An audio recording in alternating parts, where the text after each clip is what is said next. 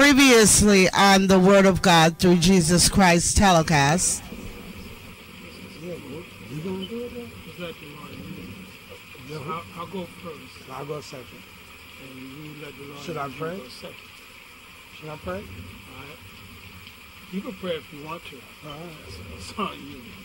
All right. No problem. Okay. A lot of ministers won't use the prophet and prophetess of the house. Why? Because they know the mess that that minister and that ministry got going on.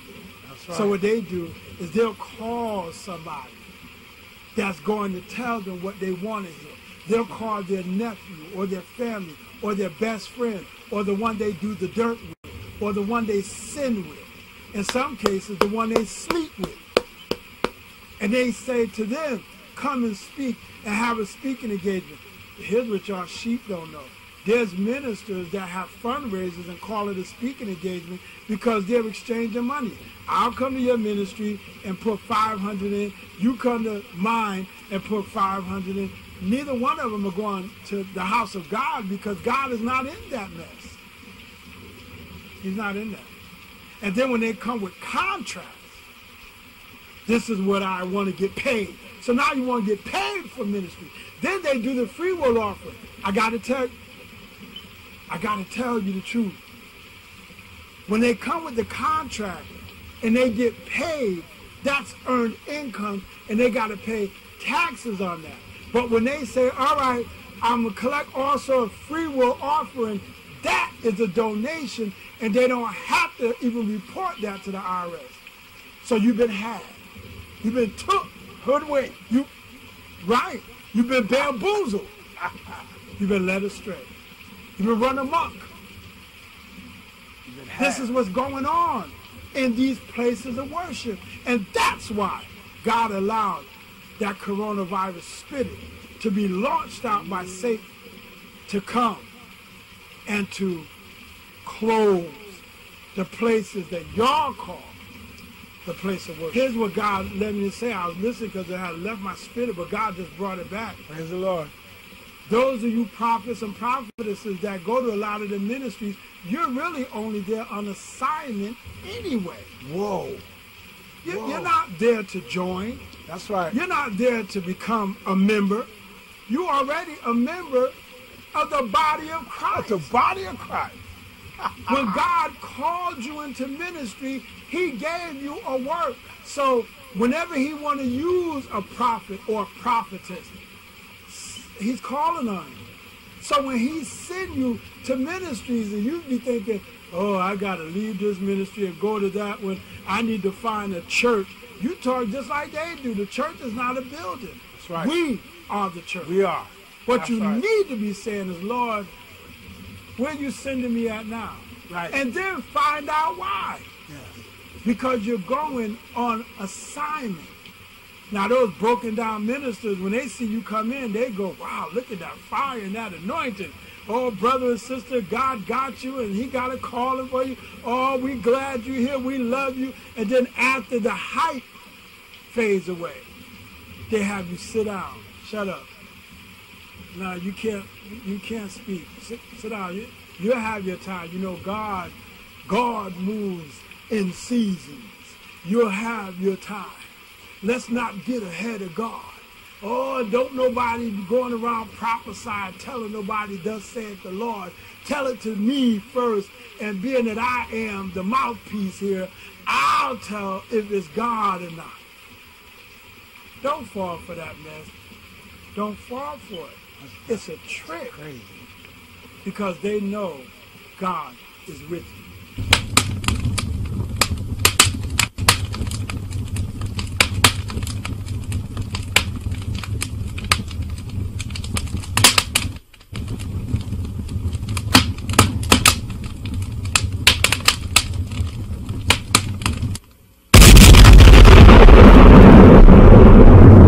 This is another Word of God through Jesus Christ, Street and Outreach Ministry. Raw and uncut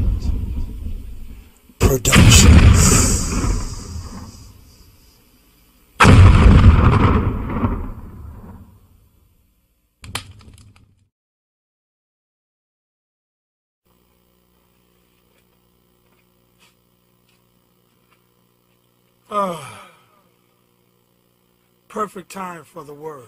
And watch this. Don't get caught up in the theatrics, but get caught up in the word.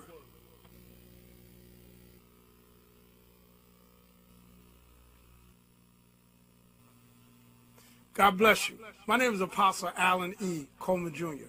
The Lord has assigned me as apostle, teacher, and prophet of the Word of God through Jesus Christ, Street and Outreach Ministry. Thank you for joining the ministry for this broadcast that God is doing today.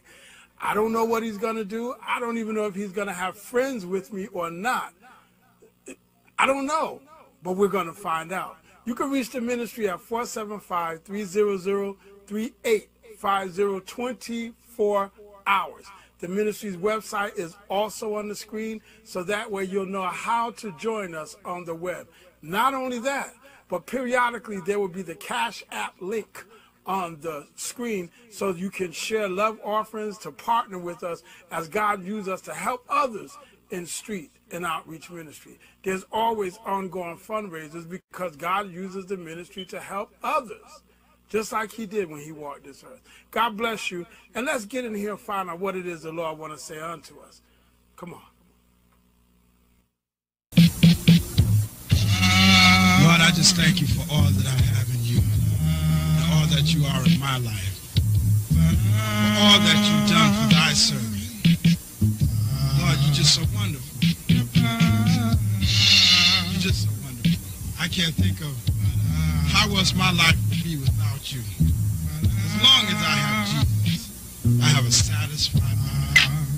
This is my prayer. Sometimes I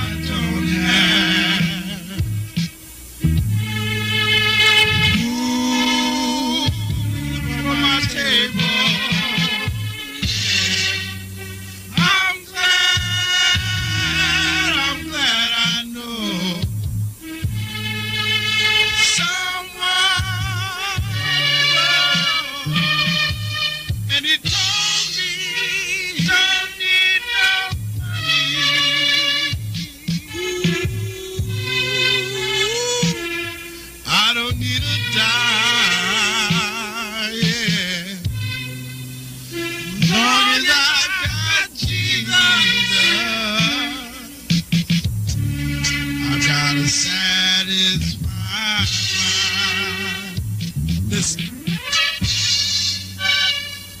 I don't even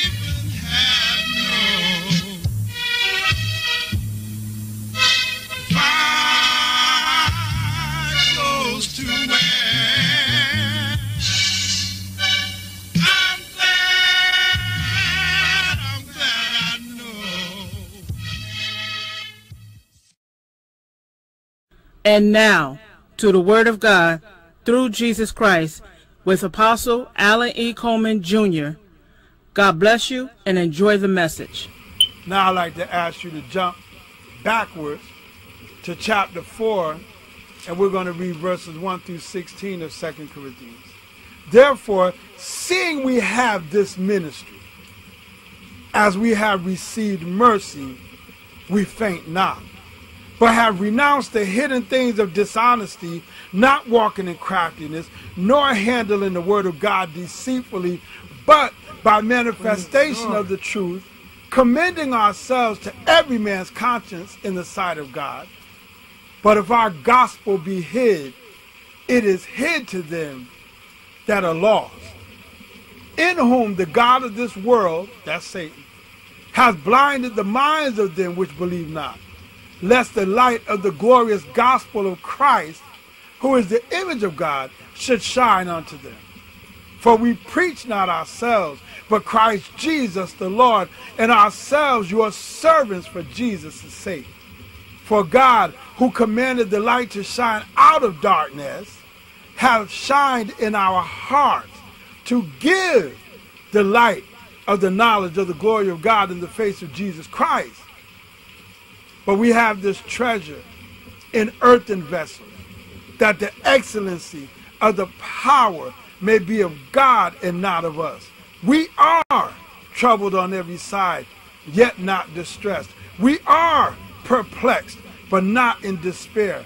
Persecuted, but not forsaken, cast down, but not destroyed, always bearing about in the body the dying of the Lord Jesus, that the life also of Jesus might be made manifest in our body. For we which live are always delivered unto death for Jesus' sake.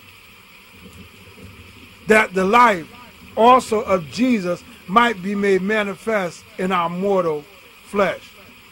So then death worketh in us, but life in you.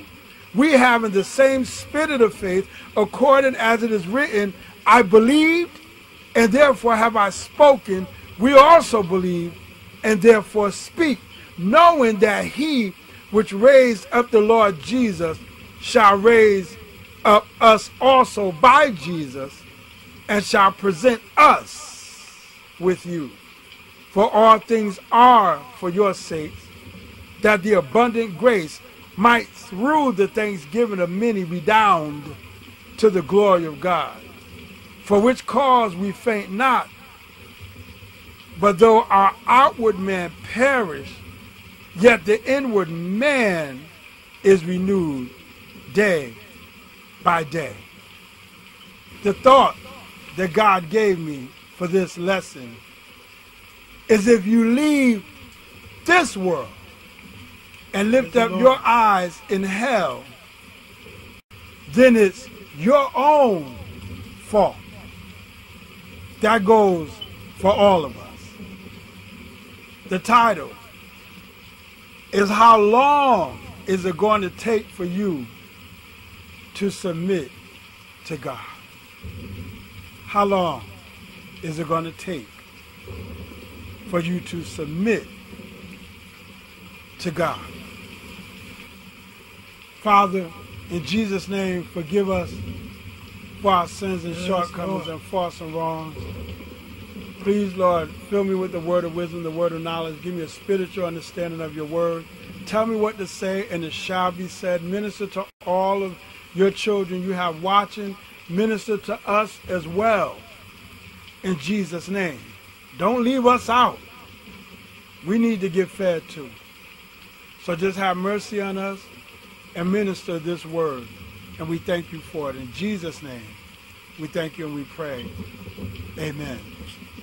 Amen. And amen. Again, the thought is if you leave this world and lift up your eyes in hell, then it's your own fault. That goes for all of us. And the title, once again, is How Long is it going to take for you to submit to God?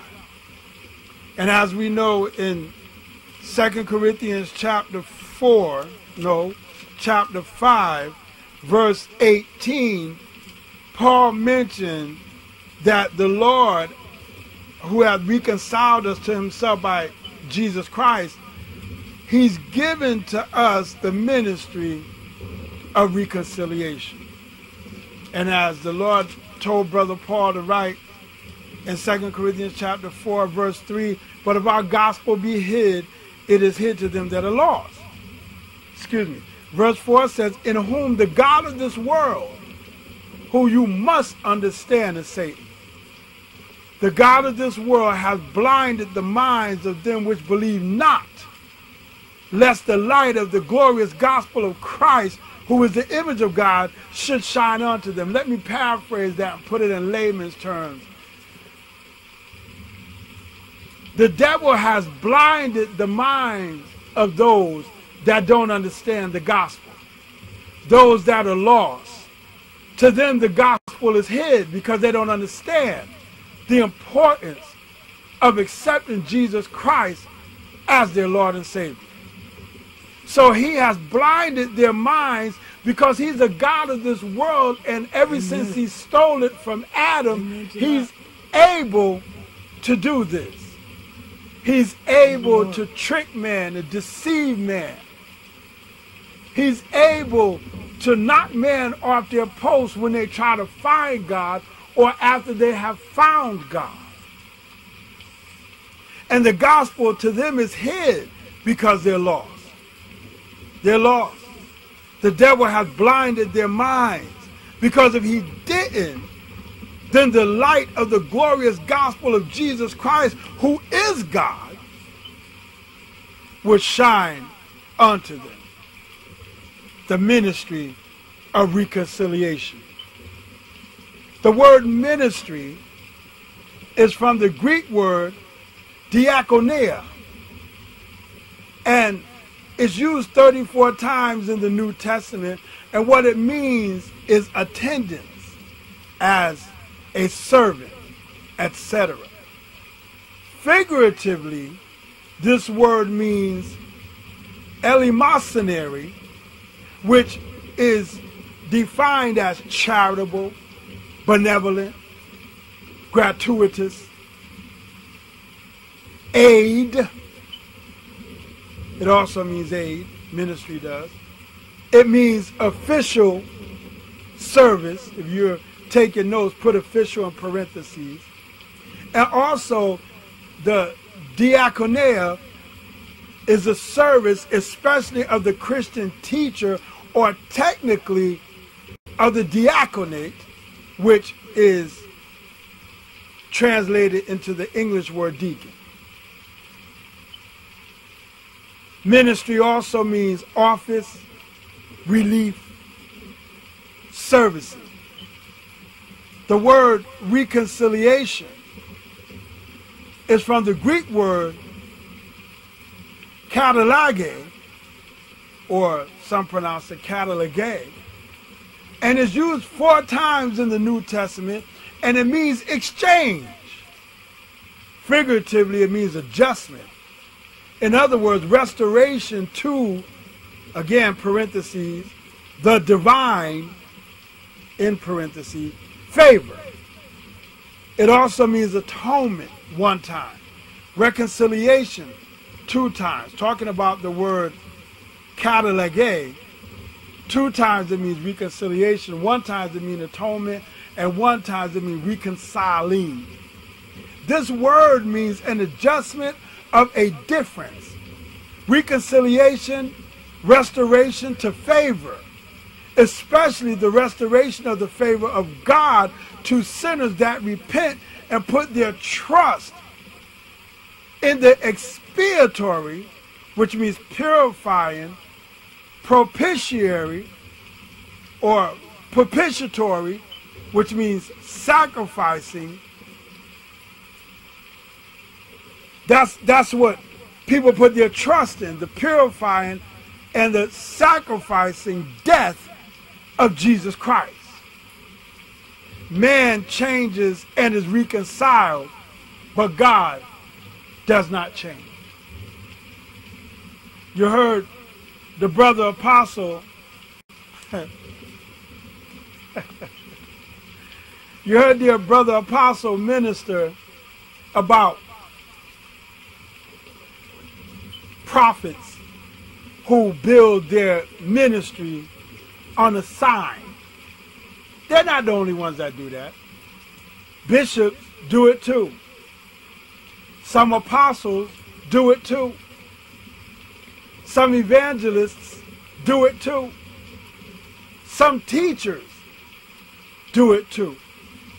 There are ministers who build their ministry on a sign because they want to seem great. They want to take the glory from God so that they can seem great. And, and that's not good because that can cause you to get in trouble. That can cause you to get in trouble. And we don't want to get in trouble.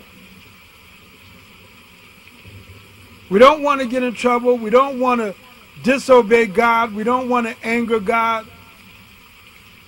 We don't want to make God upset.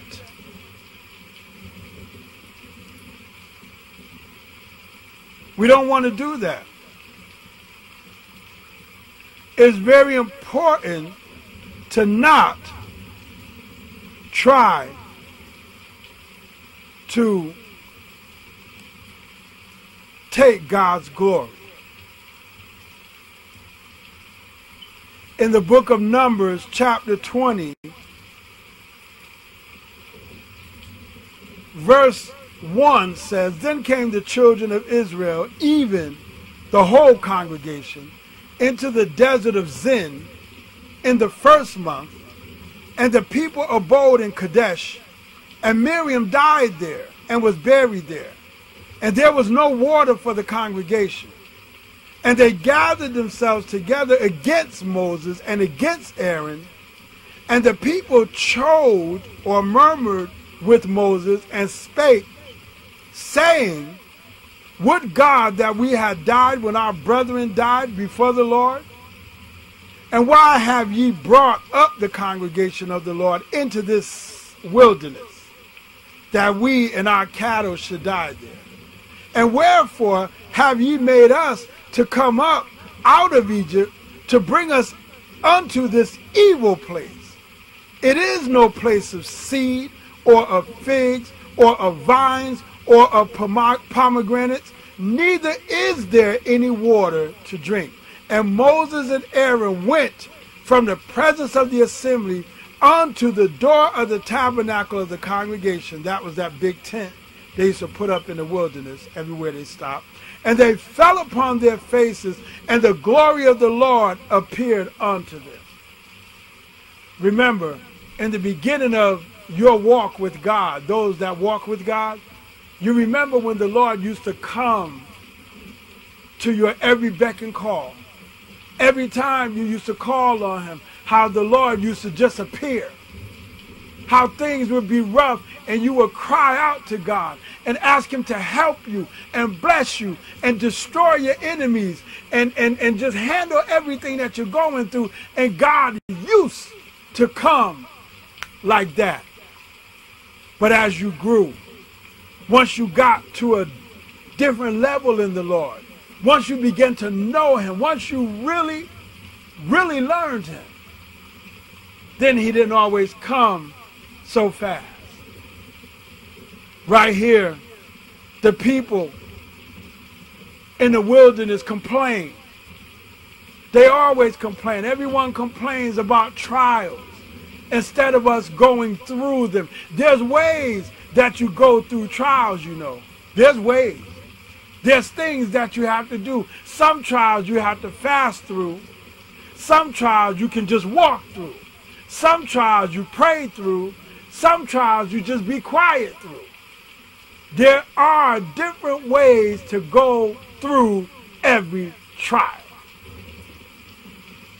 These people chose to complain. Now here's here's a problem because it was the devil that caused them to complain because the devil wants us to, to appear to be ungrateful to God for how God bless us. There's people that are hungry and God bless them with food. They don't even say their grace. There's people that God wake up every morning in their right mind. They don't even say, Lord, thank you for waking me up. When there's people dying in their sleep. There's people that God have blessed with jobs and homes and marriages, and some people don't appreciate these things because they take advantage of them. Israel saw God do many miracles. I mean, it's easy for us to say this, and we could we could very well be wrong because we're saying it on this side of Scripture and not on their side. And that is when the Lord opened up the Red Sea and we walked through it on dry ground, for me, that would have been enough. But that's what I say. It don't mean that that's true because if I were there, I might have been in a bad situation just like them. We all might have. There's people that say, well, if I was one of the apostles or one of the disciples, or if I was around in Jesus' day and I walked with him, then I would have I would have been the most faithful servant he had. Nah, maybe not. Maybe not. You can't say that. These people complained after they saw God do so much And then they went against the prophet and the priest. The priest is equivalent to the pastor. So Moses being the prophet that was leading God's people and the pastor being at his side that was supposed to help him by watching over the sheep while the prophet spent time with God. Someone had to go to God on behalf of the people and then come back to the people on behalf of God, and that is the prophet. See, the, that's why the pastor does not instruct the prophet, because the pastor's responsibility is to watch over sheep, brother, minister, brother pastor, brother bishop. Your responsibility is to watch over the sheep. Your responsibility is to be used by God to reconcile the sheep to God through Jesus Christ. You should be pointing them to Jesus Christ. You should be feeding them the Word of God. You should get off of that pedestal and put God up there and point the people to Him. And if there's a prophet that's there in the ministry, that prophet is supposed to be spending time, and the prophet is, in prayer, fasting, worship to God to be able to help the people to come in the presence of God. That's the prophet's responsibility. One thing Moses did here that was good, and he took the pastor with him. Verse 6 And Moses and Aaron went from the presence of the assembly unto the door of the tabernacle of the congregation, and they fell upon their faces and the glory of the Lord appeared unto them. The tabernacle was consecrated. It was a place in which the Holy Ghost appeared often. A lot of ministries today, the majority of them, the Lord is not there. Where the Lord is, sin cannot reside. Sin cannot be if you're in the ministry and there's a whole bunch of sin going on there, and you might be wondering, why are my prayers not being answered? Part of the reason is because when there's sin in the camp, it disrupts the movement of God. But when the place is consecrated unto the Lord, when the place is sanctified unto the Lord. Even in your home, if you dedicate a room to God and consecrate that room to God, if God gives you a room and you show him you appreciate it and you keep it clean and you honor that room and you sanctify that room and you spend time with God in that room, the Lord's presence will always be there. All you have to do every time you're in the jail, go to that secret spot. They went to the tabernacle, and the glory of the Lord appeared unto them. Sometimes you don't need the Lord to just come.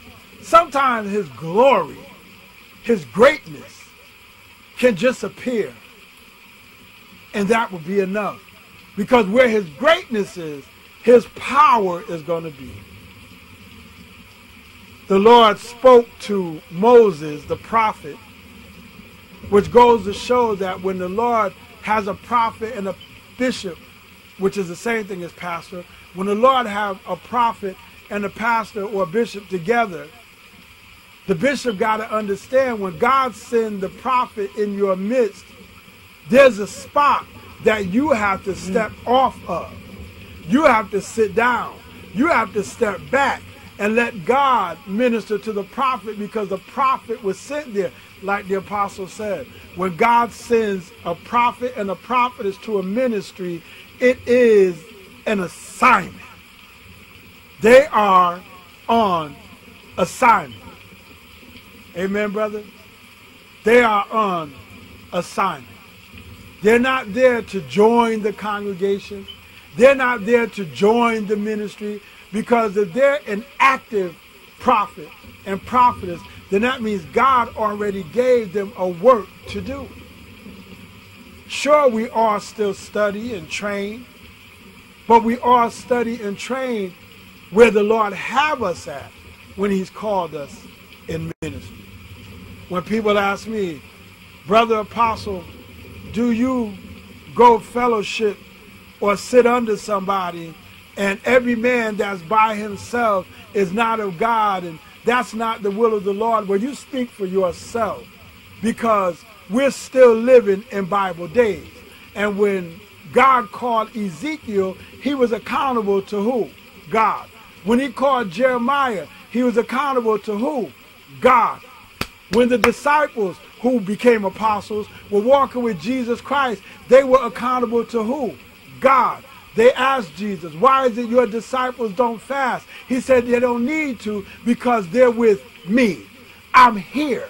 Now when I leave, they'll have to fast. Why? Because once he go back to heaven, of course his spirit, the Holy Ghost, who is God, he would be here, but he would lead them in worship and prayer to God.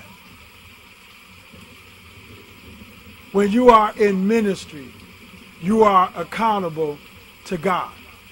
Man cannot carry you from level to level, from faith to faith, from glory to glory. Man can't do that.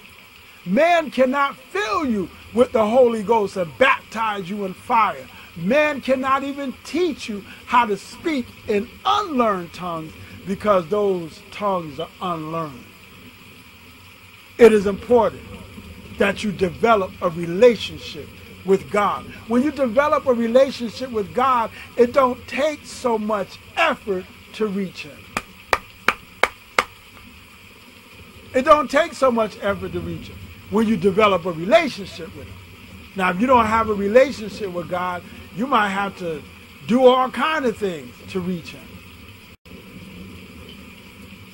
The Lord spoke to Moses and here's what he told the prophet Take the rod and gather thou the assembly together, thou and Aaron thy brother, and speak ye unto the rock before their eyes, and it shall give forth his water. And thou shalt bring forth to them water out of the rock, so thou shalt give the congregation and their beasts drink. And Moses took the rod, check, from before the Lord as he commanded him.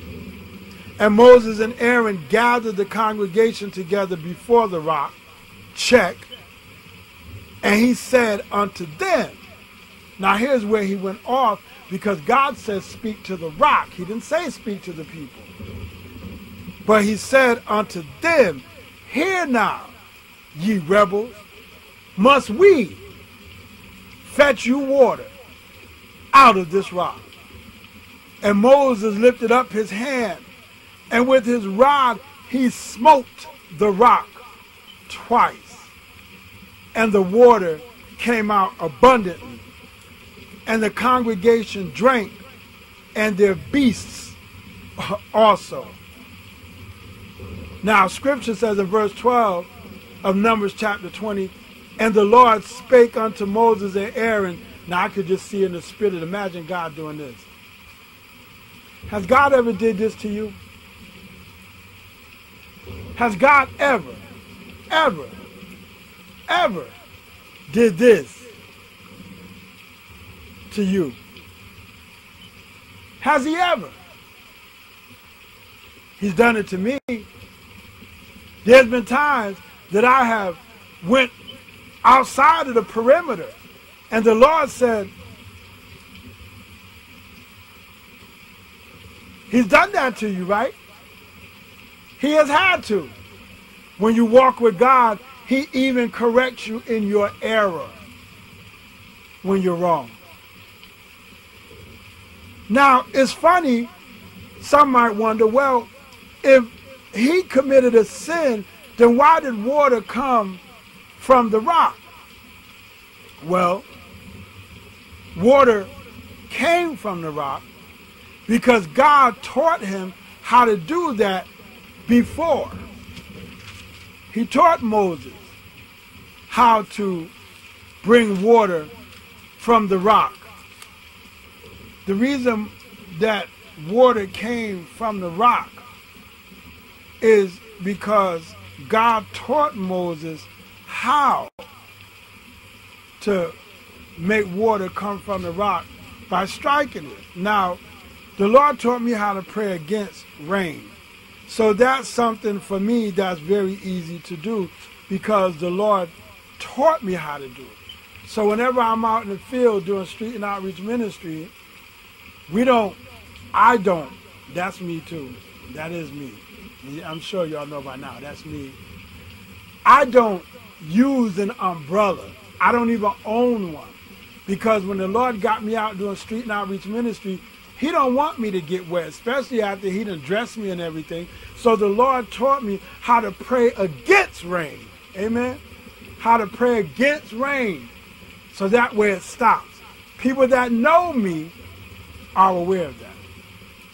People that know me are very aware of that. So when Moses struck this rock, water came out because he did this before. But here's the difference. Even though God might teach you how to do this, there's times that, again, God is not going to use you to do the same thing the same way. He's going to use you a different way to get the miracle out of the same situation. Don't be so stuck and stayed in one move of God because God has a plethora of methods. There's things God will do that you couldn't even fathom. Again, when you get to be stronger in the Lord and more mature, He's not going to come every time like that. There's sometimes it's going to take a while. There's sometimes you're going to be saying, Lord, are you hearing me? Lord, where you at? Lord, I'm praying and fasting and crying. Why are you not answering me? It's not that he don't hear you. The book of Isaiah, chapter 65, verse 24, one of my favorite scriptures, and also one of my most challenging ones. 65, verse 24, God said, And it shall come to pass that before they call, I will answer. Chew on that. He said, and it, this is Isaiah 65, 24, and it shall come to pass that before they call, I will answer. And while they are yet speaking, I will hear. Why? Well, he'll hear because while we're in the middle of our trial, while we're in the midst of all this, while we're going through all of this, while we're struggling and walking and, and going through and waiting and crying and fasting and praying, sometimes we need to talk to somebody because the trial can get hard. When you're going through stuff because of people, the trial can get hard. So you need somebody to talk to. And it's hard to talk to the average person because if they weren't there to hear God tell you anything, then they may very well challenge it. Well, you know, I don't believe God would do it that way, and I don't think that God would say this, and I don't feel that God would say that. Now, when you're a prophet, you know that there's, well, when you're a seasoned prophet, you know there's certain words that should not be in your vocabulary. One of them is, I think. That should not be in your vocabulary because we prophets are not led by thought. Another word that shouldn't be used in your vocabulary is I feel.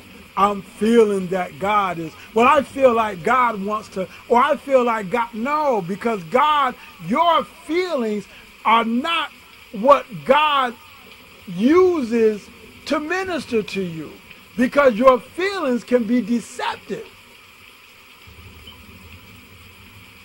Then you have the ones that say, well, to me, to me, this means that. To me, uh, God would do this. To me, you know, or then you got those people that always tell you how God is always so with them, but their walk and their language and their level of anointing and I'm going to say intelligence don't always fit that. There are people, God could use you to minister to them, and they'll say, I know. That spirit is a terrible spirit because that spirit will cause God to be quiet. Not only will that spirit cause God to be quiet, but the Holy Ghost said in 1 Corinthians chapter 14, here's what he said. Chapter 14, uh, he said in verse 12, should be 14, 14 or 14, but it's not. Thank God, yet in church, brother. But Lord, let me go back. He that speaketh in the unknown tongue likewise say you the there. Therefore, speaketh even so forth. Wherefore, let him speak the unknown tongue, let him may interpret. If a man speaketh, there it is right there.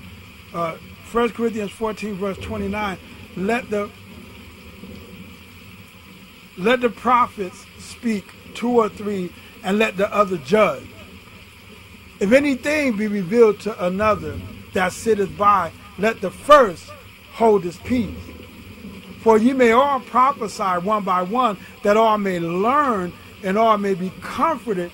Verse 32 says, And the spirits of the prophets are subject to the prophets. For God is not the author of confusion, but of peace, as in all churches of the saints. The Lord can tell you to be quiet when people got the I know spirit. If God tells you something and somebody I know, then it, the Holy Ghost can silence you and that anointing will be silent as well.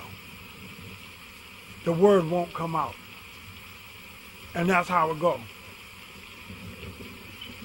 It's very important to understand the anointing. Very important. When Moses struck that rock, and God said, Come here. Verse 12, and the Lord spake unto Moses and Aaron, here's what God said, Because ye believe me not, to sanctify me in the eyes of the children of Israel. Therefore, Ye shall not bring this congregation into the land which I have given them. That was exclusion. The Lord told Moses, You blew it. You won't go into the promised land. He told Moses that. Now, it's important to also understand when God called Moses in the book of Exodus, chapter 3, when Moses went and investigated that burning bush. In chapter 3, when God called him, here's what God said.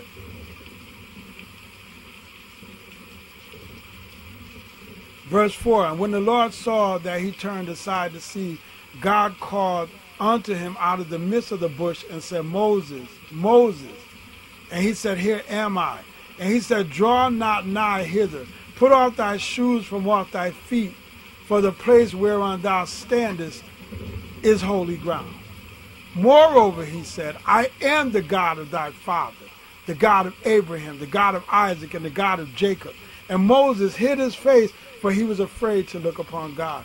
And the Lord said, I have surely seen the affliction of my people which are in Egypt, and have heard their cry by reason of their taskmasters, for I know their sorrows, and I am come down to deliver them out of the hand of the Egyptians, and to bring them up out of that land unto a good land and a large, unto a land flowing with milk and honey, unto the place of the Canaanites and the Hittites and the Amorites and the Perizzites and the Hivites and the Jebusites. Now therefore, behold, the cry of the children of Israel has come unto me, and I have also seen the oppression wherewith the Egyptians oppressed them. Come now therefore, and I will send thee unto Pharaoh. that thou mayest bring forth my people, the children of Israel, out of Egypt. He didn't say, and bring them into the promised land. That wasn't for him to do. But he said, to bring my people out of bondage. I thank God for the fivefold ministry because God uses all five gifts, gifts differently. They're not all used the same. It is sin, it's wrong for an evangelist to tell a prophet, you don't praise God enough. It's wrong for a prophet and a prophetess to tell an evangelist, you don't worship God. It is wrong for a pastor to tell an apostle how to handle sheep. It is wrong for the apostle to tell the pastor. What is it wrong for the apostle to tell the pastor? Because apostles do cultivate the gift of the pastoral office. Thank you, Lord. It's wrong for the apostle to tell the pastor, don't be compassionate. Yeah. It is wrong for anyone to tell the teacher, don't be dogmatic. Don't be so dry. Why is it you always got to teach? Women that are married to apostles and married to teachers, some of them say that. I know one precious sister who said to me one time, why you talk to me like I'm your pupil? And I, said, you're not my pupil. No. But see, when a man is a teacher of the gospel, what do you expect him to do? If he was drinking, carousing, running the street, getting high, smoking weed, cigarettes, or crack, or sniffing dope, or whatever, is that what you would rather he do? The man of God and the woman of God is going to be committed to God. Yet, the fivefold ministry, all five of the gifts do different things.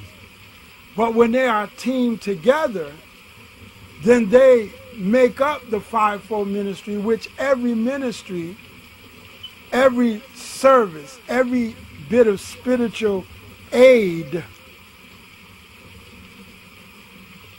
should operate with the fivefold ministry involved.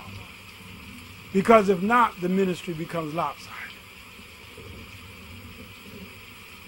Like the Lord used the apostle to say, it's wrong to build your ministry on a gift. Because then you'll do like Moses. When Moses smote the rock twice, but before that he said, Hear now, ye rebels, must we fetch you water? He took God's glory. And when he took God's glory, he lost his place. He lost going into the promised land. Now, now that's a sermon all on its own. Because the deep thing about that, being used by God to lead people, knowing you're not going into the promised land. That's that's forfeiting. There's a, a teaching on that. That would be a blessing to hear. The doctrine of forfeit. Esau sold his birthright for something to eat. He forfeited. Then he sought it back with tears. There are people in covenants, whether it's marriage, business, relationship with their children, whatever the case may be, to where you have forfeited that covenant because you didn't do something God's way. I hate to say this, even children. You can betray a parent because you didn't do it God's way. You can lose the respect of your children because you didn't do it God's way. You can lose your job because you didn't do it God's way.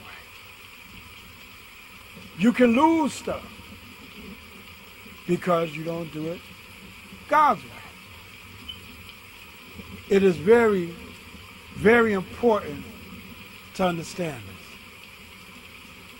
Because imagine where Adam and Eve had everything. And then because of being disobedient to God, they got kicked out of heaven, out of the garden. Not heaven, but the garden. Because the garden was here in the earth realm. They got kicked out of the garden.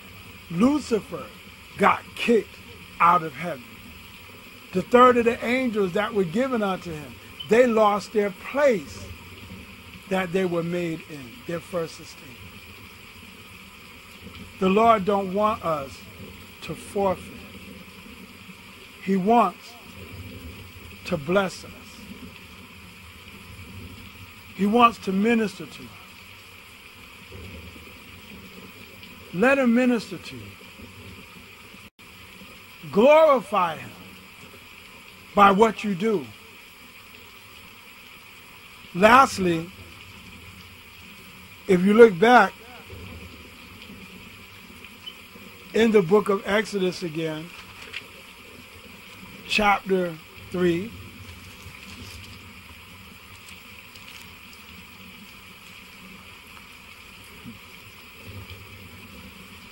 Exodus chapter 3.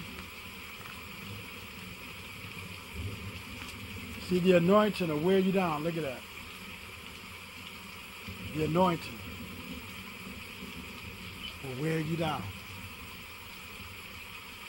And he will the Holy Ghost will cause you to rest. He will also cause you to wake up. Father, I need you to bless me. Sometimes you got to pray for yourself. I need you to bless me, Lord. Please forgive me for all my sins and shortcomings and my faults and my wrongs. I need you to anoint me. I need you to empower me. I need you to stir up the gift that is in thy servant. In the mighty name of Jesus. Please, Thou hast called me. Make me usable and use me. Thank you for how you use me. And I ask, Lord, that you hear all my prayer. The things that you've been blessing me to fast for. I ask, Father, that you answer those prayers. Yes. Stir me up in the name of Jesus. Because I need you. I need you, Lord. Can't do nothing without you. Can't do anything without you. Please, Father, have mercy. Have mercy.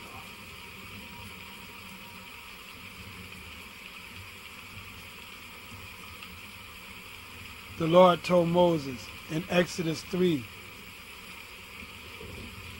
in verse 8. The Lord said, And I am come down to deliver them out of the hand of the Egyptians and to bring them up out of that land unto a good land and a large, unto a land flowing with milk and honey, unto the place of the Canaanites and the Hittites and the Amorites and the Perizzites and the Hivites and the Jebusites. God was telling Moses, where I'm going to bring you, there might be, there are people there, but I'm going to remove them. I'm living in a place where I got neighbors that are unsaved. They're drunks.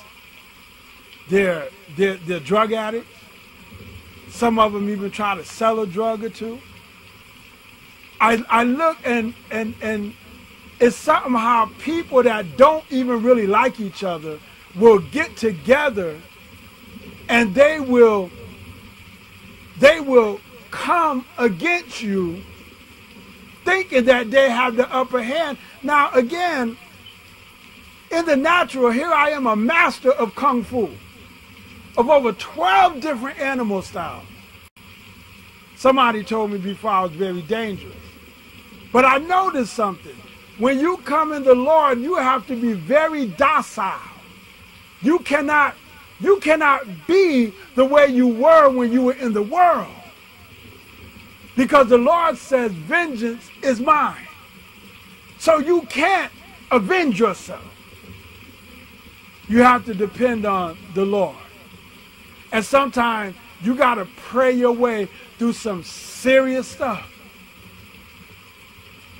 God said he would drive out these other nations from the land that he had for his people. In Exodus 33, verse 1, and the Lord said unto Moses, Depart and go up hence, thou and the people which thou hast brought up out of the land of Egypt, unto the land which I swear unto Abraham, to Isaac, and to Jacob, saying, Unto thy seed will I give it, and I will send an angel before thee, and I will drive out the Canaanite, the Amorite, the Hittite, and the Perizzite, the Hivite, and the Jebusite. God said that he would drive them out. He'll drive them out. Again, I hope that this has been a great blessing to you. What the Lord used apostle to do and me the prophet. What he used me to do. Again, don't get caught up in the theatrics. But the Lord blessed me to be able to give him an excellent work, an excellent offering, which is my service unto the Lord for his glory. Come on, brother, let's pray. We got to close out. Right.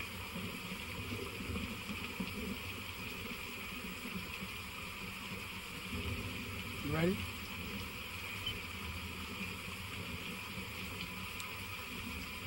Let's pray. Father, in the mighty name of Jesus. Come on, brother, bow your head. Father, in the mighty name of Jesus, we ask you to forgive us for our sins and shortcomings and faults and wrongs. Please keep us before you. Anoint us, minister to us. Let us have a blessed day. Let us get some rest and then to get up and work for you another day. Thank you, Lord, for everything. We love you, Lord. Please hear our prayers. Please honor the prayers that are going forth. Please, Father. In the name of Jesus. Yes, Lord. By the power of the Holy Ghost. Yes, Lord. Please, Father. Thank you, Lord. Yes, Lord. Glory. Yes, Lord. Hallelujah. Thank you, Hallelujah. Yes. Oh, hallelujah. Thank you, Jesus. Father, thank you for this Yes, word, Lord. Yes, Lord. Thank you for how you move, Lord. Yes, Thank you for how you use us. Thank you, Lord. All of your children. The way you use Thank all you. of us to stand before you, Lord. Yes, Lord. The way you use us to minister, Lord. Thank you. Thank you, Lord. Thank you, Lord. Thank you, Father. Lord, we give you glory, Lord. Give you Yes. the praise. We honor you, Father. We glorify you. Oh, hallelujah. Yes, Thank you. Lord. Yes, Thank you, Father. yes, Lord. Yes, Father. Thank you, Jesus. Hallelujah. Replenish us, Lord. Lord. Yes, Lord. Re-strengthen us, Lord. Yes. In the name of Jesus. Thank you, Lord. Yes, Anoint us. Forgive us Oh, for all of hallelujah. our sins and our shortcomings and our faults and our wrongs. Forgive all of the people in the prayer box. All those that are watching the TV Please, show. Father. Please forgive them. In Jesus' Please, name. Lord. Forgive us all, Lord. We rebuke the devil. Lord. Yes. We plead the blood against him. Yes, Lord. We bind him, Lord, in Yes. the earth realm. Yes, And we're already bound in heaven. yes, Oh, Lord. yes, Lord. We command him to go back to the pit of Yes. hell for where he Hallelujah. We render him powerless. Yes, Lord. We loose all our stuff from his yes, Lord. Yes, Lord. Yes, Father. Yes, Lord. Glory, Lord. Have mercy. Yes, Lord. In Jesus' name. Yes, Lord. Yes, Lord. Hallelujah. Yes, Lord. Yes, Lord. Thank you. Yes. Thank you. Everything. Yes, Lord. Yes. Yes, Father. We thank Yes. you. In Jesus' name. In Jesus' mighty name. Holy angels, Lord. Yes, Holy Dispense angels anointed angels. into the earth now. Yes, Send them to see about this prayer request, Lord. In Jesus' name. Yes, Lord. In Jesus' mighty name. Thank you, Lord. Yes, Lord. Yes, Thank you, Father. Thank you. Thank Yes, you. Lord. Thank you. Yes, Lord. Yes, Lord. Glory. Jesus' name. Yes. Jesus' name. Yes, Lord. Jesus. In Jesus' name, we thank you and we pray. Yes, Lord. Yes, Lord. In Jesus. Name. Amen. In Jesus' name, amen. In Jesus' name, amen. Amen and amen. Amen. Yes. Good show, brother. Good show. So what you what you think? God bless you.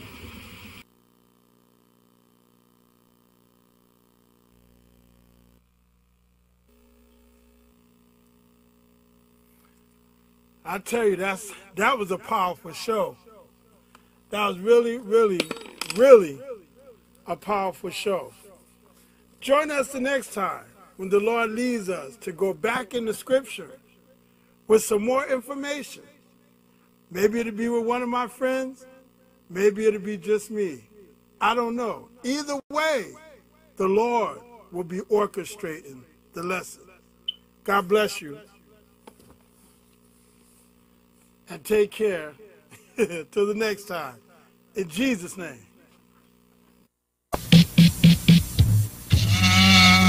Just thank you for all that I have in you and uh, all that you are in my life. For all that you've done for thy servant. Lord, you're just so wonderful. You're just so wonderful. I can't think of how else my life would be without you. As long as I have Jesus, I have a satisfied mind. This is my prayer. Sometimes I don't